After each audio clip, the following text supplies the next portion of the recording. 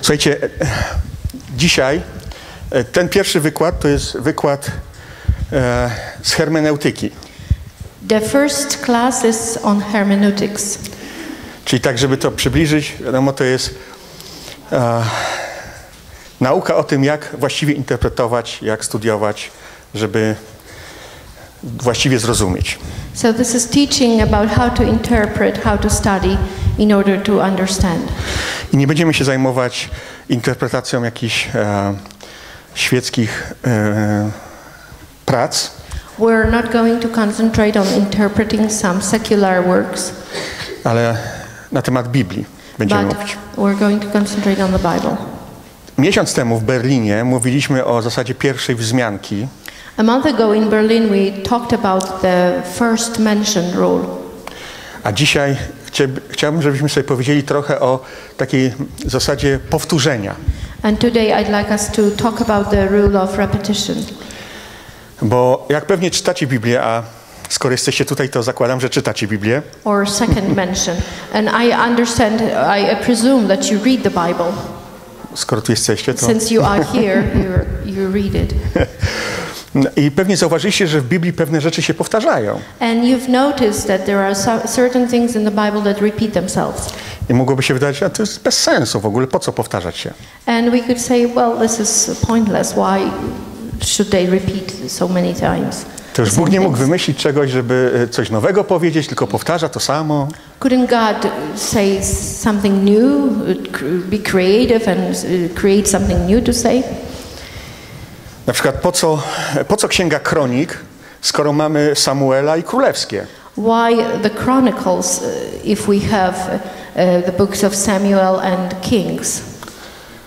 Po co cztery Ewangelie, skoro trzy z nich są bardzo podobne do siebie? Why four Gospels if three of them are already very similar to each other? Ale wiecie, ja e, e, gdy, mam nadzieję, że po tym wykładzie zrozumie ja i wy, że jednak to jest konieczne. But I believe that after this class, we'll understand, all of us will understand how necessary that is. Bo Bóg celowo pewne rzeczy powtarza Because God does certain things on, on purpose, i chce nas czegoś nauczyć. and He wants to teach us something. Jak rodzic mówi do dziecka, nie dotykaj tego, bo się poparzysz, If a parent tells a child, do not touch this or you burn yourself, to czasami musi kilka razy powtarzać, sometimes bo to jest the ważne. parent has to repeat it a couple times because it's very important. Chociaż niektórzy są tacy, że muszą i tak spróbować. Al- Although some just need to touch, No, ale to to boli. but it hurts.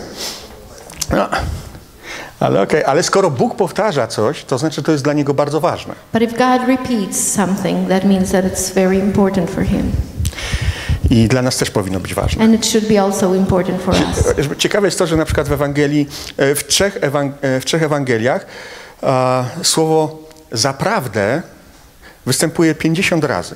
It's interesting that in the Gospels, the word therefore uh, is found 50 times. Verily. Ile? Verily. Verily, okay, verily.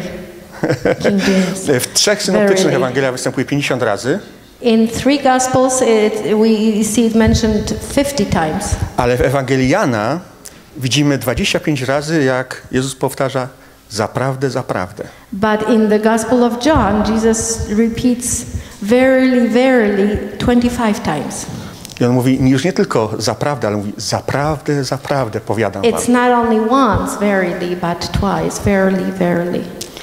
Bo Jezus, Jezus chce podkreślić znaczenie tego, co za chwilę powie. Because Jesus wants to underline whatever he's go, about to say in a moment. I tak jakby powiedział, chłopaki, skupcie się teraz, Uh, as if he was saying, guys, focus, bo teraz chcę wam coś ważnego powiedzieć. because I want to tell you something important. Więc zaprawdę, zaprawdę powiadam wam, skupcie się. So, verily, verily, I say to you, focus. Okej. Parę przykładów takich powtórzeń, które Bóg daje w swoim słowie. I'm going to mention a few uh, repetitions or second mentions that God is using. Zapewne e, czytaliście mm, opis stworzenia w pierwszej Mojżeszowej. You've probably read the description of creation in, the in Genesis. I wydaje się, że tam są jakby dwa różne opisy stworzenia. Pierwsza, e, pierwszy rozdział i drugi rozdział. And it seems like that there are two different descriptions of creation in the chapter 1 and chapter 2. I niektórzy mówią, że to jest jakaś sprzeczność z Biblii, że to jest e, jeden fragment zaprzecza drugiemu. Some people say that it's a contradiction on the Bible part, that one pa- passage contradicts the other. Ale tak naprawdę to, co widzimy, to w pierwszym rozdziale pierwszej Mojżeszowej. But what we see in the first chapter of Genesis tam widzimy taki opis ogólny stworzenia. is a general des- description of creation. Bóg tworzy cały ten świat, w którym ma człowiek zamieszkać. God is creating the whole world where uh, human, humans are supposed to live. I widzimy to piękno i ten majestat tego stworzenia, to co Bóg robi. We see the beauty, the majesty of His creation. A w drugim rozdziale But in the second chapter, Bóg szczególnie koncentruje się i opisuje nam sposób tworzenia człowieka, God concentrates on the creation of a man, którego nie tylko tworzy, ale umieszcza w konkretnym miejscu, które dla niego przygotował. whom He not only creates, but He places him in a certain place prepared for him. I Bóg się koncentruje przede wszystkim właśnie na człowieku. And God is concentrating especially on, on the man. I tak naprawdę pierwszy rozdział przygotowuje nas na wydarzenia drugiego rozdziału. So the first chapter is preparing us for the events taking place in the second chapter. Bo gdyby nie było pierwszego rozdziału, to mielibyśmy taki mały kłopot. If there was no first chapter, we'd be in we'd have a little misunderstanding, like. No, skąd się wziął ten Eden? How it was, where did Eden come from? W ogóle jak to wszystko powstało? How was everything created? Ale Bóg to wszystko opisał, poprzedzając drugi rozdział. But God did it. He described everything on purpose. Dał jakby tło, a teraz w drugim rozdziale koncentruje się na relacji Boga z człowiekiem, tego jakim człowiek jest dla Boga. He set the background, and in the second chapter, he concentrates on the relationship with a human being. I Bóg robi to celowo, God is doing this on purpose bo pokazuje to, jak ważny jest człowiek dla Niego. because he shows how important a man is to him. I, I zamiast wyciągać jakieś nieuprawnione wnioski, typu, że e, jest e, zwolennicy teorii tej e, takiej ewolucji te, teistycznej, So instead of drawing some conclusions, especially when speaking of the people who believe in the the- theistic evolution, że Bóg stworzył, najpierw potem zniszczył, potem bo był bunt i potem na nowo tworzył. that God created and destroyed, then because there was some rebellion, and then uh, created again. Bóg opisuje po prostu, daje bardziej szczegółowe opis tego, co miało miejsce. God is giving a more precise description W drugim rozdziale. took place in the second chapter. Kolejnym takim przykładem e, takich powtórzeń w Biblii, Another example of repetition, jeden z moich ulubionych, and it's my one of my favorite, to jest Psalm 136. is Psalm 1, 136. Nie wiem, czy znacie ten werset. I don't know if you know this psalm. Ja mogę się na pamięć tego wersetu nauczyć, ale co drugi werset tylko. Actually, I can learn it by heart, this verse, this specific verse. Znam. Znam go, ale tylko co drugi werset. I know it by heart, but only every other verse. Dlaczego? Bo co, dru, co drugi, e, e, nie werset, tylko e, Line. line, o, tak, linia, tak, tak, dobrze, niech będzie, brzmi, albowiem na wieki trwa łaska Jego. And every other line says, For his mercy endures forever. Albowiem Jego łaska trwa na wieki. For his mercy endures forever. Albowiem łaska Jego trwa na wieki. Because his mercy endures I tak forever. 26 And razy. so on and so forth for 26 times. Wow! Nie ma wątpliwości, że Bóg chce coś nam pokazać, powiedzieć. There is no doubt that God is God wants to show us something. I może z gramatycznego punktu widzenia możemy myśleć, ojejku, to bez sensu, po co to? Maybe uh, like uh, grammatically we'd think, we'd think what, we would think why, Ale Bóg chce powiedzieć coś but God wants to tell us o something swojej łasce, about His grace że Jego łaska trwa na wieki, and, and His mercy that it endures forever. że niewyczerpane są objawy Bożej łaski. That um, His mercies never run out. Nawet czy upadnę, czy stoję, to zawsze jestem w Bożej łasce. Whether I fall down or I stand up, I'm always in the grace of God.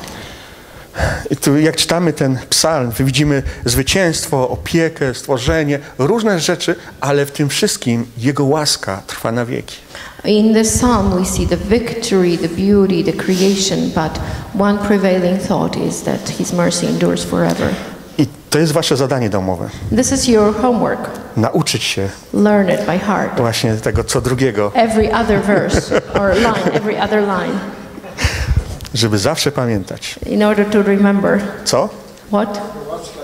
Że Jego łaska trwa na wieki. Amen. Stasiu już wykonał zadanie domowe, Stasiu więc dla niego coś innego wymyślimy. We will think of another homework for you because you already know. Słuchajcie, albo e, e, kolejny przykład. Gdy czytamy Nowy Testament i czytamy o Jezusie, When we read in New Testament about Jesus, to widzimy dwie genealogie Jezusa. we see two gene- ge- genealogies. Tak jak powiedziała. Nie? I można by się zastanawiać, no ale po co dwa razy genealogię Jezusa powtarzać w dwóch Ewangeliach? And we could think, why repeat it twice in two Gospels? Ale to ma znaczenie. But it does matter Dlaczego? Why? Bo Ewangelia Mateusza, because the Gospel of Matthew, rozdział pierwszy, chapter 1, mówi o genealogii od strony Józefa, speaks about genealogy from Joseph's side. a Łukasza trzeci rozdział But in Luke 3, mówi genealogię od strony Marii. it speaks about genealogy from Mary's side. Czyli e, e, jeśli chodzi o Józefa, linię Józefa, to jest linia według prawa, According to, uh, uh, if we look at Joseph's line, it's according to the law. The lineage is patrzy, according to the law. a jeśli patrzymy na Marię, to jest linia według krwi. But if we look at Mary's uh, lineage, it's a lineage according to the blood. I wiecie, co jest ciekawe, że grzech pojawia się, przechodzi z człowieka na człowieka. And what's interesting that sin Od ogrodu Eden, od Adana, od Adama. Is um, przechodzi- is um, Idzie. inherited, uh, man after man. Od Adama. To zaczęło From się od Adam. Adama. It started with Adam. E, I ciekawe jest jedna rzecz w Ewangelii Mateusza, na którą chciałem zwrócić Wam And there is uwagę. an interesting thing in Matthew. Bo każdy z nas, gdy się rodzi, to właśnie rodzi się z tym grzechem przypisanym od Adama. Every one of us, we, when we are born, we've inherited sin from Adam. A w Mateusza, pierwszym rozdziale, widzimy chociaż od piątego wersetu. In Matthew 1, uh, starting with verse 5, A Salomon zrodził z Rahab Boaza. A Boaz zrodził z Rut Jobela. A Jobed był ojcem Jesego. A Jese był ojcem Dawida, króla, a Dawid zrodził z żony Uriasza Salomona. Salomon był ojcem Roama, e, Roboama, a Roboam ojcem Aba, Abiasza, a Abiasz ojcem Afaza. I tak dalej, i tak dalej. So from 5 to 7. Uh, um, should I read it? Yes? Tak. No, there is like uh, who, who, yeah?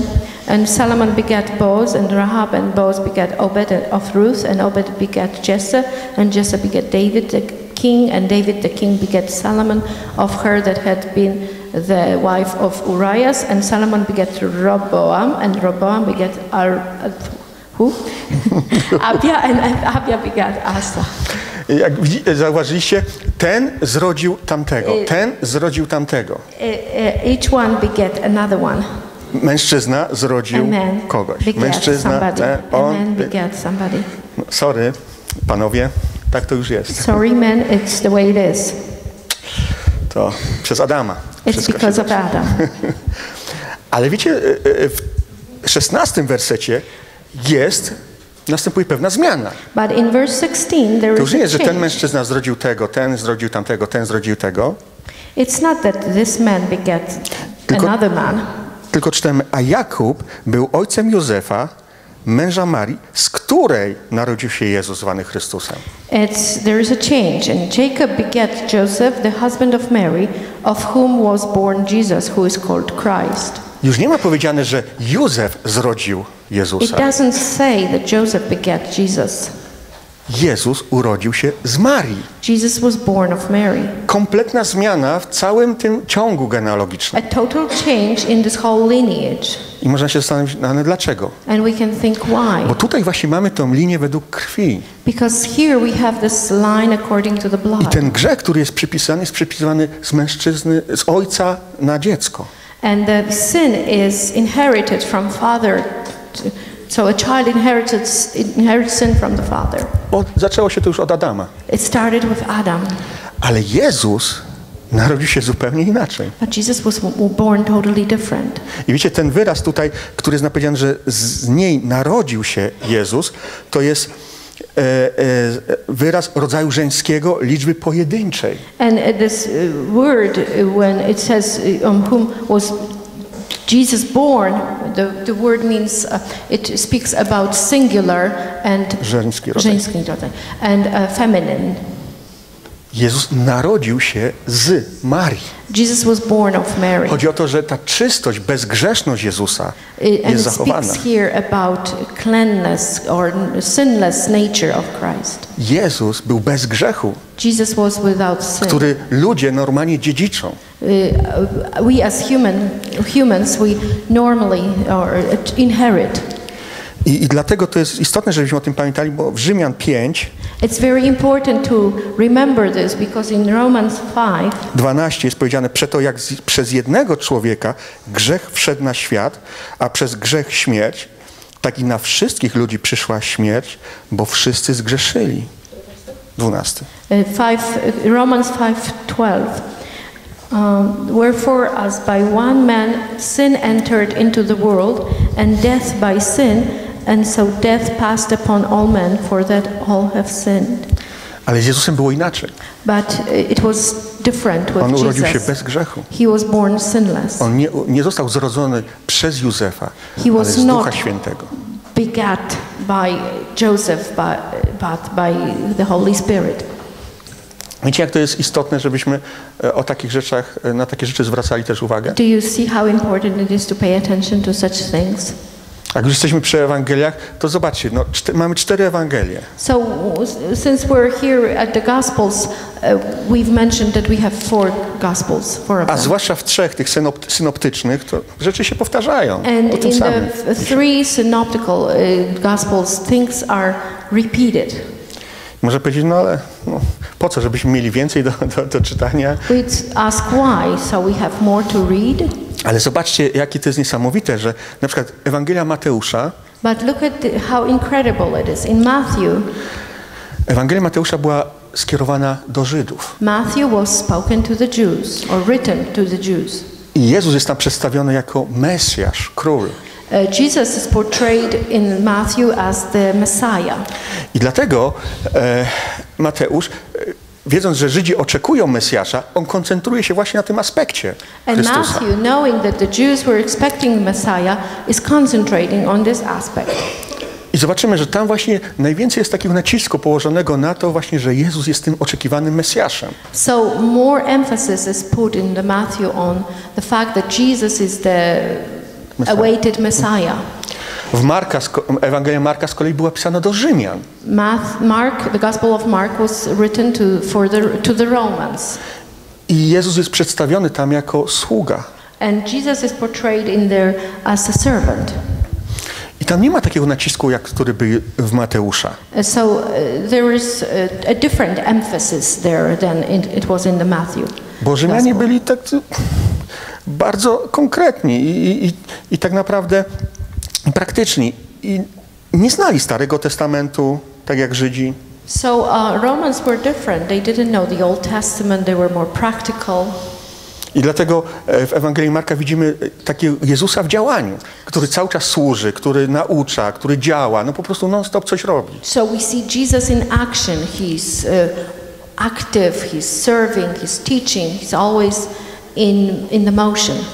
On, Marek na przykład w ogóle omija pewne aspekty, które znajdujemy w innych Ewangeliach And synoptycznych. Marek is, does not speak about other aspects that are mentioned in other Gospels.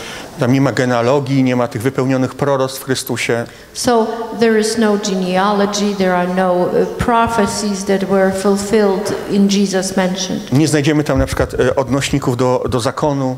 We won't see um, references to the law, Ale widzimy Chrystusa, który działa, który służy, który jest tym, który przyszedł, aby usługiwać innym. but we see Jesus who's active, who's serving, and he came to serve those uh, who he came to save. Służyć. Łukasza jest do Greków. In Luke, it's uh, Luke is uh, directed towards uh, the Greeks, I mówi o człowieczeństwie Jezusa. and it speaks about Jesus' humanity. I, I tam widzimy w Łukasza na przykład te roz, rozbudowane, e, e, e, jakby te, te rod- rodowód widzimy, prawda? Widzimy to, jak Jezus wzrastał, historii, których nie ma w innych Ewangeliach. And we see his genealogy and the, his childhood, stories that are not mentioned in other Gospels. Ale żeby pokazać to, że Jezus nie był jakimś nadczłowiekiem, ale But- był człowiekiem taki jak my. But it's to show that he was not superhuman, but he was just a man like you and I, Ale z wyjątkiem grzechu. except for sin. Doskonałym, bez grzechu. He was perfect, but I właśnie Grecy poszukiwali ideału człowieka. And Greeks were looking for a perfect. Filozofowie się tym zajmowali. Philosophers were looking for that. I właśnie to jest skierowane po to, żeby dotrzeć przesłaniem o Chrystusie właśnie do tych ludzi. And this gospel is supposed to reach these people. I na przykład jak rozmawiacie z kimś e, w czasie ewangelizacji i chcecie, e, ktoś jest właśnie, ma taki, takie filozoficzne podejście do życia, rozmawiajcie Łukaszem.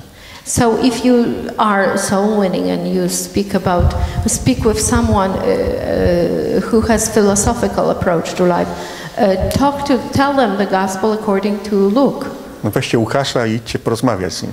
Go with Luke. Take Luke. Nie? Ale z kolei Ewangelia Jana jest zupełnie inna od pozostałych trzech, But the Gospel of John is totally different than the, the other three. Ona była już napisana wtedy, gdy trzy synoptyczne już istniały. It was written when the three synoptical Gospels were already written. I ona jest dla Kościoła. And it's for uh, the church. I mówi o Chrystusie, który jest Synem Bożym. And it speaks about Jesus, who's the Son of God. I, I mówi o tym, co jest najistotniejsze dla Kościoła, dla nas. And it speaks about what's most important for the church, for us. I tu jest, kładzie, e, e, Jan kładzie nacisk właśnie na naturę Chrystusa, na zbawienie z wiary, mówi o Duchu Świętym, o Kościele. To są te rzeczy, które my tam znajdujemy. So John speaks about salvation, about the nature of God, about the Holy Spirit. And those are the things that we are looking for in, in the church. Także jak widzicie, to ma sens, So it makes sense. ma znaczenie. It does have a meaning. I już tak kończąc, a, zobaczcie, Księga Kronik, i, a Królewska i Samuela. No, w sumie, no, jak tak czytamy, no to zawsze pamiętam, że mi najciężej było przejść przez Księgę Kronik. Uh, so uh, at the end, I want to mention Chronicles, Kings, and Samuel. I remember when reading the Bible, it was the Chronicles was the most difficult to go through. Po co to samo opisywać, te same genealogie, te same historie? Why speak about the same genealogies, the same stories? Ale wiecie, gdy przyjrzymy się temu dokładnie, But if we look precisely at it, to widzimy na przykład księgę Samuela, Samueli, księga i kronik, i królewskie. Samuela i i- królewskie. we see Samuel and Kings. To widzimy, że tam są fakty historyczne. We see historical facts, E, Historyczne i polityczne państwa Izrael. historical and political of Israel. A gdy czytamy księgę kronik, But when we read the Chronicles, to widzimy duchową historię Izraela. we see the spiritual side of Israel. Nacisk jest położony na duchowość, a nie na polityczne i historyczne aspekty. And uh, emphasis is in put on spiritual things, not political or historical. Żeby tak porównać w księdze Samuela i Królewsk- w księgach Samuela i Królewskich In Samuel and Kings, widzimy opisy życia króli, we see the description of the lives of kings, a w kronik opisy służby kapłanów. in- but in Chronicles, uh, the description con- uh, uh, uh, touches the life of the priests. I na przykład e, w Samuela i Królewskiej jest tylko jeden rozdział o przeniesieniu Arki do Jerozolimy, In a w Kronik aż trzy. Samuel, there is only one mention of uh, moving the ark uh, to Jerusalem, but in Chronicles, there are three mentions of that fact. Samuela i Królewskiej widzimy wojny, opisy, historie. In Samuel's, in Samuel and Kings, we see wars and history. A w Kronik przebudzenia. In Chronicles, we see revivals. Wiecie, To jest tak jakby... My czasami mamy coś takiego, że e, patrzymy na monetę. Jak miałbym teraz tutaj monetę, to jak ja bym ją widział, to trochę inaczej niż wy. Eh, Sometimes it's like this. If we put a coin in front of us, I see a little different side of this coin than you do. Ja widzę orzełka, a wy reszkę. I see the head and you see the tail. I możemy e, e, się kłócić nawet, że nie, nie, to, to nieprawda, ja, e, to, to jest co innego. Ale to jest ta, ta sama rzecz, tylko patrzymy z dwóch perspektyw. And we can even fight over it. That I see the head and you see the tail. But in fact, we're speaking about the same coin. I Bóg z dwóch różnych perspektyw pokazuje nam historię Izraela. And God is showing us the history of Israel from two different perspectives. Wiecie, co jest niesamowite, gdy tak a, patrzymy na przykład na grzech. And what's uh, interesting when we look at sin, Patrzymy na przykład na Dawida. we look at David's life. W księdze w tych Samuela i Kronik widzimy opis grzechu Dawida. In Samuel and Chronicles, we see a description of his sin. Ale księdze Kronik ten fakt jest w ogóle pominięty. So in Kings. But in the Chronicles, this fact is not even mentioned. Wiecie, to jest taki niesamowity dla mnie obraz. You know, this is a very, this is a really incredible uh, picture for me. W ziemskim życiu, In his human life, znaczy w ziemskim opisie życia Dawida in jest the grzech, human description of David's life, there is sin. ale w takim duchowym, niebiańskim opisie jego życia tego brakuje. Nie ma tego. But in the uh, spiritual or heavenly description of his life, this sin is not mentioned. I my upadamy, We fall. zdarza się, It happens. ale tak jak list do Hebrajczyków 8, 12 i 10, 17 But just like in Hebrews 8, 12 and 10, 17, mówi, że i grzechów ich i nieprawości nie wspomnę więcej. he says, I will remember their sins and iniquities no more. Bóg zapomni te wszystkie rzeczy. God will forget all of those things. W duchowej rzeczywistości dla Boga nasze grzechy zostały obmyte krwią Jego jednorodzonego Syna. In spiritual reality, our sins were cleansed by the blood of his only son. To jest niesamowite, bo kiedyś staniemy przed Bogiem wszyscy. It's incredible because one day we'll all stand before God. I tak naprawdę, można powiedzieć, Bóg pokaże nam nasze życie. And God will show us our lives. Wiecie, dla jednych może to wyglądać w ten sposób, że zobaczymy taki krótki film, na którym będzie to, jak się nawróciliśmy i jak stanęliśmy przed Bogiem. For some, it will be a, like a very short movie. Uh, it will show uh, the moment we got saved and the moment we stood before God. A z kolei dla innych to może być bardzo długi film, na którym będzie opisane, jak służy, jak ufa Bogu, jak żyje przez wiarę, jak głosi Ewangelię, jak robi to i robi tamto. I potem przed Panem. And for some, it will be a longer movie. It will show the, the moments that he served, that he was giving his heart to God and uh, working for God, and then stand before God. Ja mam nadzieję, że to mój będzie bardzo długi. I hope for mine to be long. Nie chciałbym być zawstydzony przed Panem, że to będzie taki króciutki. I wouldn't like to be ashamed before God that Bo it grzechów short i nieprawości On nie wspomnie więcej. Because he will remember our sins and iniquities no more. Ci, którzy oddali swoje życie Bogu, nie będą sądzeni na podstawie grzechów. Those who gave their hearts to Jesus will not be judged according to their sins. Według, na tej podstawie będą sądzeni ludzie przed białym tronem, On this na sądzie białego tronu. uh, it will happen, uh, this kind of judgment will take place at the white throne Judgment. judgment. Ale my staniemy przed Chrystusem na sądzie Chrystusowym. But we will stand before Christ at uh, Bema seat. Dokładnie. Bimacji. Na sądzie Bema. in Christ's judgment. I, I to jest niesamowite, że wiecie, bo gdy czytamy Nowy Testament, nowotestamentowy opis życia Dawida, When we read the New Testament description of David's life, no przecież no, zgrzeszył. he sinned. Mało tego, nie tylko był cudzołożnikiem, ale też mordercą. We know that he was not only an adulterer, but he was also a murderer. Zabił męża kobiety, z którą cudzołożył. He killed the man that he, uh, who was the husband of the woman he had an adultery Znaczy, with. kazał go zabić, no bo wysłał go He na had pierwszy. him hi- killed. Ale w dziejach 13, 22 Acts 13:22. jest powiedziane tak, a gdy go od, y, powołał im na króla Dawida, człowieka, i wystawił mu świadectwo w słowach. Znalazłem Dawida, syna Jessego, męża według serca mego, który wykona całkowicie wolę moją. Moment 13:22. And when he had removed him, he raised up unto them David to be their king, to whom also he gave testimony, and said, I have found David, the son of Jesse, a man after mine own heart, which shall fulfill all my will. To jest ten sam człowiek? Is it the same man? Tak. Yes. Ale Bóg patrzy na niego z innej perspektywy, nie z ludzkiej. God looks at him from a different perspective, not from the human perspective.